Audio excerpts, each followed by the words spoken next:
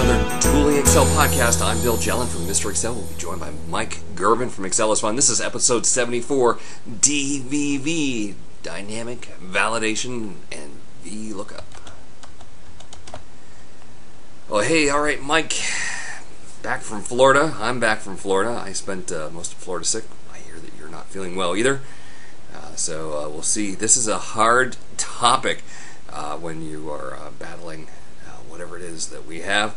Uh, so good luck. Uh, actually, for the folks that have been watching my podcast all week, uh, we've kind of had some some tough topics. So here we go. Let's uh, drill through it. Uh, question: Can there be dynamic ranges for a VLOOKUP and data validation list for an invoice? So here we want to have little uh, data validation lookups, but rather than hard coding to this list, as we add more items to the list, we want that to grow. All right. So of course you can use offset you can do all kinds of things like that. But now that we're in Excel 2007 or 2010, uh, it is not necessary to do that. We can just create a table from this. The beautiful thing about a table is formulas that point to the table will automatically extend.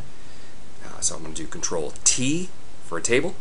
My table has headers. Yep. Uh, but then I'm going to come up here and change Table 1, that name that they give it to something better. I'm going to call it, uh, mm, how about PT for product table when I need to refer to that later, I'm going to remember that table name. All right, so first thing, uh, the VLOOKUP here.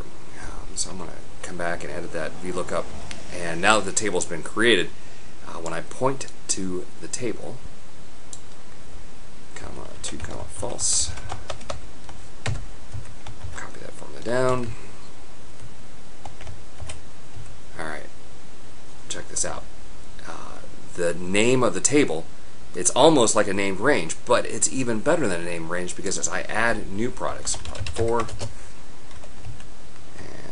25, those automatically become incorporated in the table. See, the table formatting grew. So that's a really nice improvement with Excel 2007. I don't have to change these formulas at all.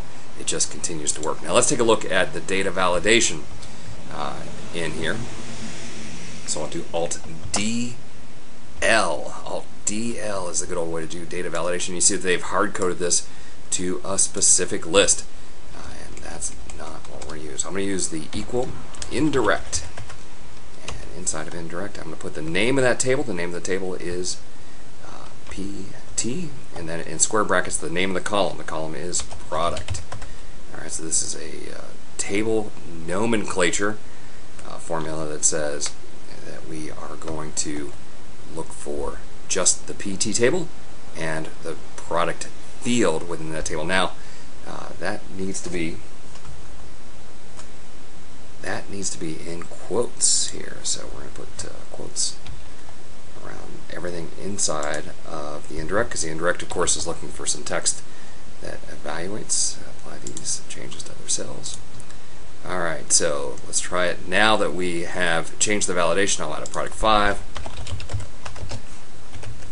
$66 and come back here. Sure enough, the new items are automatically added to the bottom of the table. Isn't that sweet?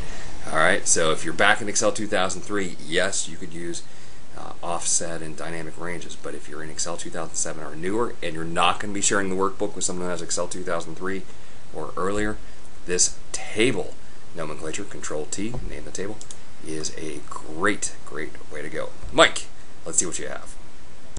Thanks, Mr. Excel. Yes, I hope you get well soon. It's no fun being sick. I've been sick for almost four weeks now.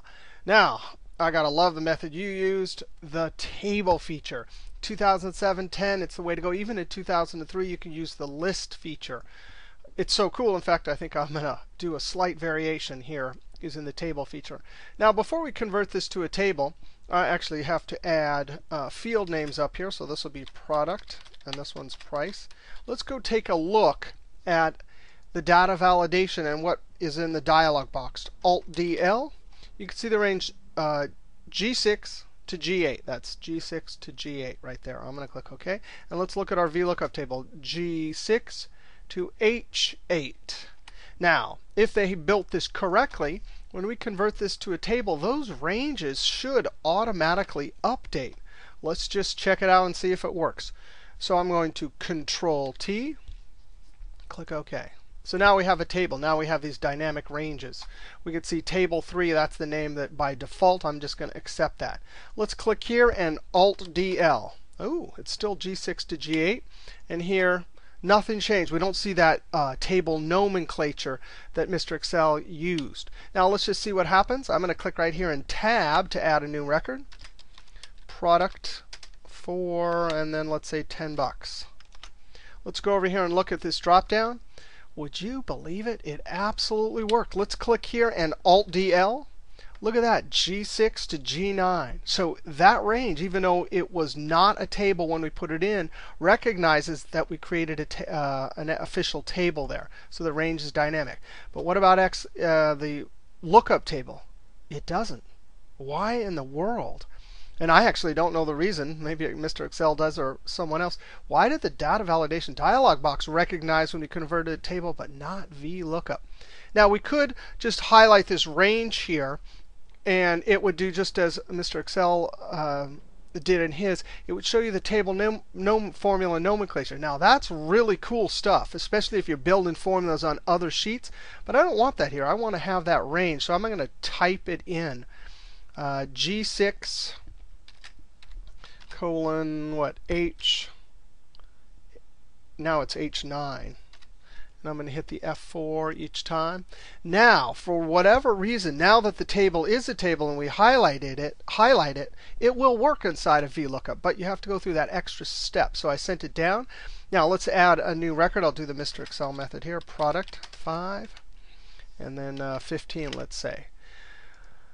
Well, let's select the drop down. Oh, so it did pick up.